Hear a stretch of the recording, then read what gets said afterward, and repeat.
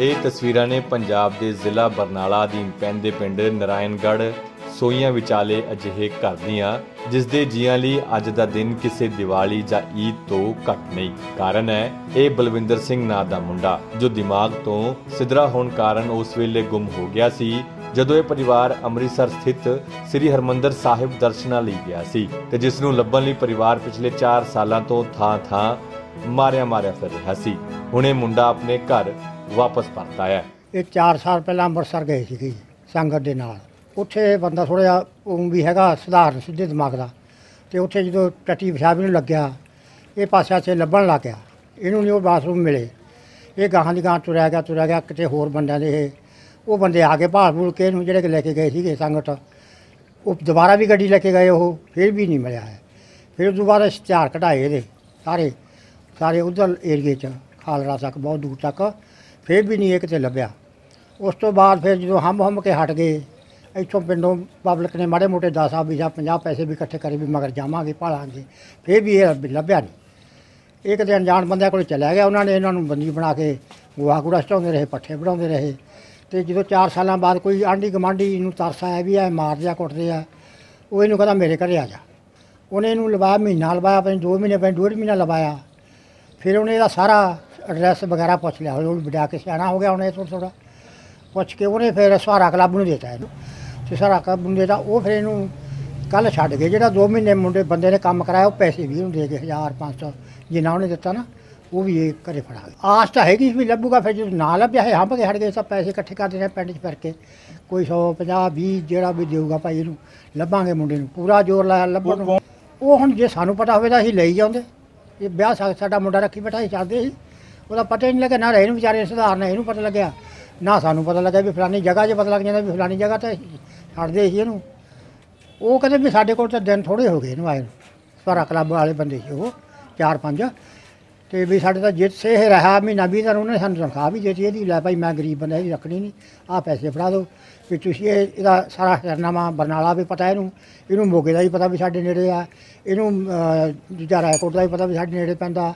ਅੱਠ ਪੂਰੇ ਖੁਸ਼ ਹੈ ਪੂਰੀ ਖੁਸ਼ੀ ਹੈ ਜੀ ਖੁਸ਼ੀ ਕਿਵੇਂ ਨਾ ਹੋਵੇ ਉਹ ਗੱਭਰੂ ਪੁੱਤ ਚਾਰ ਸਾਲ ਬਾਅਦ ਆਇਆ ਤੇ ਫਿਰ ਖੁਸ਼ੀ ਕਿਉਂ ਨਾ ਹੋਊਗੀ ਦੱਸ ਦਈਏ ਕਿ ਜਿਸ ਵੇਲੇ ਬਲਵਿੰਦਰ ਸਿੰਘ ਗਾਇਬ ਹੋਇਆ ਸੀ, ਉਸ ਵੇਲੇ ਉਸ ਦੀ ਉਮਰ 13 ਸਾਲ ਸੀ। ਤੇ ਹੁਣ ਜਦੋਂ ਘਰ ਵਾਪਸ ਪਰਤਿਆ ਤਾਂ ਉਹ 17 ਸਾਲ ਦਾ ਨੌਜਵਾਨ ਬਣ ਚੁੱਕਿਆ ਗੁੰਮ ਹੋਣ ਤੋਂ ਅੱਗੇ ਦੀ ਕਹਾਣੀ ਦੱਸਦਿਆਂ ਬਲਵਿੰਦਰ ਸਿੰਘ ਕਹਿੰਦਾ ਕਿ ਜਿਸ ਵੇਲੇ ਉਹ ਪਖਾਨੇ ਲਈ ਗਿਆ, ਤਾਂ ਉਹ ਰਸਤਾ ਭੁੱਲ ਗਿਆ। ਤਾਂ ਰਸਤੇ 'ਚ ਉਸ ਨੂੰ ਗੁੱਜਰ ਭਾਈਚਾਰੇ ਨਾਲ ਸੰਬੰਧਿਤ ਕੁਝ ਲੋਕ ਟੱਕਰ ਗਏ, ਜੋ ਉਸ ਨੂੰ ਆਪਣੇ ਨਾਲ ਲੈ ਗਏ। ਉੱਥੋਂ ਜਿਵੇਂ ਛੋਟਾ ਹੀ ਹੁੰਦਾ ਖੁੰਝ ਗਿਆ ਸੀ। ਉੱਥੇ ਥੋੜਾ ਚਿਰ ਹੀ ਰਿਹਾ ਜੀ। ਉਸ ਤੋਂ ਬਾਅਦ ਜੀ ਬੰਦੇ ਆ ਗਏ ਚੁੱਕ ਲੈ ਗਏ ਬਾਹਰ ਹੀ। ਅੱਛਾ। ਤੇ ਉੱਥੇ ਮੁੰਡਾ ਸੀ ਇੱਕ ਜੀ ਸੇਵਾ ਕਰਨ ਵਾਲਾ ਟਰੈਵਲ ਸੀਗਾ। ਤੇ ਉਹ ਕਹਿੰਦਾ ਵੀ ਤੂੰ ਇੱਥੇ ਬਹਿ ਜਾ ਮੈਂ ਸੇਵਾ ਕਰਨਾ ਤੇ ਬਸ ਜੀ ਉੱਥੋਂ ਮੈਂ ਬੈਠਾ ਰਿਹਾ ਬਹੁਤਾ ਚਿਰ ਤੇ ਉੱਥੋਂ ਮੜਾ ਬਾਥਰੂਮ ਕਰਨੀ ਉੱਠਿਆ ਸੀਗਾ ਜੀ। ਤੇ ਉੱਥੇ ਮੈਂ ਟਾਈਮ ਹੀ ਪੁੱਛਿਆ ਤੇ ਬਸ ਉੱਥੋਂ ਗਾਂ ਦੀ ਗਾਂ ਲੈ ਗਏ ਚੁੱਕ। ਹਾਂਜੀ। ਕੀ ਤੋਂ ਜੀ? ਕੰਮ ਬਸ ਗੋਏ ਕੁੜੇ ਦਾ ਤੇ ਪੱਠਿਆਂ ਦਾ ਜੀ। ਹਾਂਜੀ ਰੋਟੀ ਪਾਣੀ ਤਿੰਨ ਟਾਈਮ ਮਿਲਦਾ ਸੀ ਤੇ ਪੈਸੇ ਪੈਸੇ ਹੌਲੀ ਹੌਲੀ ਥੋੜ੍ਹ ਜੁੜੀ ਗਈ ਜੀ ਜੇ ਨਹੀਂ ਕਰਦੇ ਸੀ ਤੇ ਫਿਰ ਗਲਤ ਤੋਂ ਕੁੱਟਦੇ ਸੀਗੇ ਜੀ। ਉਹਨਾਂ ਨੇ ਜੀ 4 ਸਾਲ ਦੀ ਸਜ਼ਾ ਹੀ ਕਰਤੀ ਸੀ। ਨਹੀਂ ਜੀ ਮੈਂ ਦੱਸਿਆ ਜੀ ਇਹ ਬੰਦਿਆਂ ਨੂੰ ਥੋੜੇ ਮਾੜੇ ਮੋਟਿਆਂ ਨੂੰ ਜੀ। ਤੇ ਫਿਰ ਮੈਂ ਮਾੜਾ ਜਿਹਾ ਕਿ ਬੰਦੇ ਆਏ ਸੀ, ਕਿੱਦਾਂ ਤੁਸੀਂ ਆਏ ਹੋ? ਵੀ ਉਹ ਲੈਣ ਆਏ ਸੀਗੇ ਮਿਲਣ ਆਏ ਸੀਗੇ। ਤੇ ਵੀ ਕਿਹੜਾ ਬੰਦਾ ਸੀਗਾ ਡੈਰੀ ਵਾਲਾ ਜੀ। ਤੇ ਉਹਦੇ ਮੈਂ ਕੰਮ ਕਰਦਾ ਸੀ। ਤਾਂ ਇੱਥੇ ਜਿਵੇਂ ਮਾੜਾ ਮਾੜਾ ਉਹਨਾਂ ਨੂੰ ਮੈਂ ਐਡਰੈਸ ਦਿੱਤਾ ਆਪਣਾ। ਪਿੰਡ ਦਾ ਨਾਮ ਦੱਸਿਆ ਜੀ। ਪਿੰਡ ਦਾ ਨਾਮ ਦੱਸ ਕੇ ਥਾਣਾ ਦੱਸਿਆ। ਤੇ ਆਪਣਾ ਨਾਮ ਦੱਸਿਆ ਤੇ ਮਾਤਾ ਦਾ ਪਿਤਾ ਦਾ ਨਾਮ ਦੱਸਿਆ ਜੀ।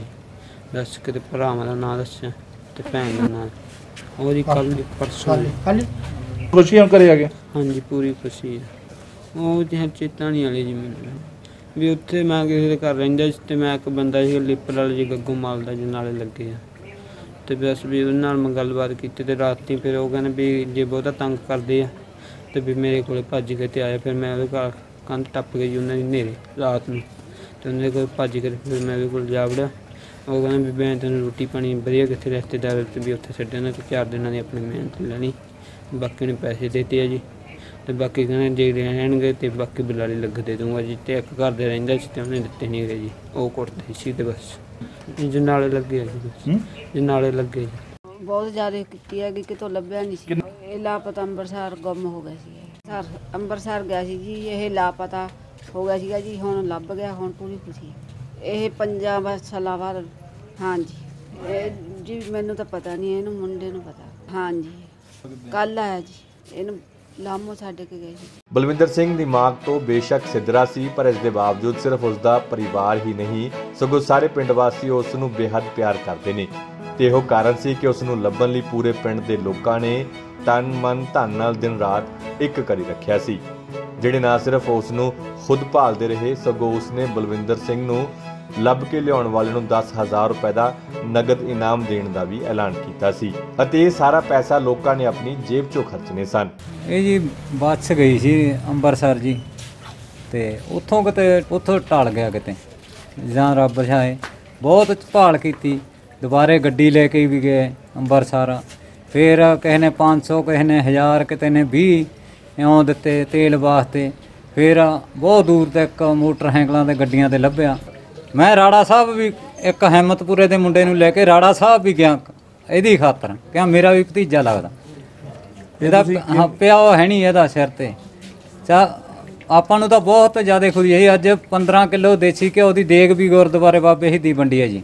ਇਹਨੇ ਤਾਂ ਜੀ ਇਹ ਥੋੜਾ ਦਿਮਾਗ ਦਾ ਸਿੱਧਾ ਹੀ ਹੁਣ ਜੇ ਇਹ ਤਾਂ ਹੁਣ ਇਹ ਹੀ ਦੱਸ ਸਕਦਾ ਵੀ ਕਿੱਥੇ ਰੱਖਿਆ ਕਿਵੇਂ ਰੱਖਿਆ। ਉਹ ਤਾਂ ਜੀ ਆਪਣੇ ਜਿਵੇਂ ਹੁਣ ਆਪਾਂ ਉਹ ਹੋਰ ਵੀ ਦੱਸਿਆ ਸੀ ਵੀ 6-7 ਪਰਿਵਾਰਾਂ ਨੂੰ ਹੋਰ ਵੀ ਜਵਾਕ ਮਿਲਾਇਆ ਉਹਨਾਂ ਨੇ। ਕਹਿੰਦੇ ਨੇ ਪ੍ਰਮਾਤਮਾ ਦੇ ਘਰ ਦੇਰ ਹੈ ਅੰਧੇਰ ਨਹੀਂ। ਸ੍ਰੀ ਹਰਮੰਦਰ ਸਾਹਿਬ ਮੱਥਾ ਟੇਕਣ ਵਾਲਿਆਂ ਨੂੰ ਹਮੇਸ਼ਾ ਸੁੱਖ ਹੀ ਮਿਲਦੇ ਰਹੇ ਨੇ।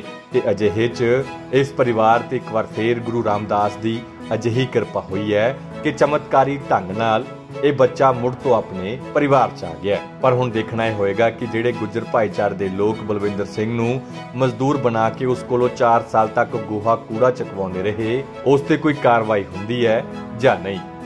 ਹਕੀਕਤ ਟੀਵੀ ਪੰਜਾਬੀ ਲਈ ਅੰਮ੍ਰਿਤਸਰ ਤੋਂ ਹਰਜੀਤ ਗਰੇਵਾਲ ਦੀ ਰਿਪੋਰਟ।